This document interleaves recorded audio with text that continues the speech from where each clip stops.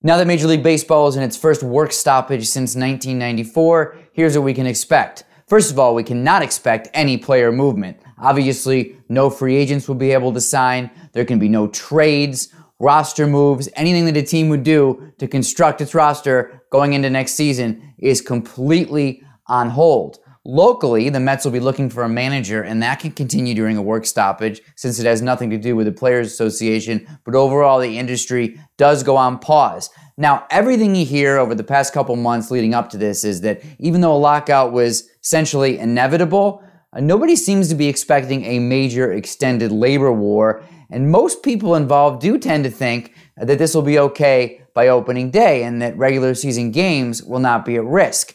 But I would just caution that there is genuine antipathy between the Players Association and the owners.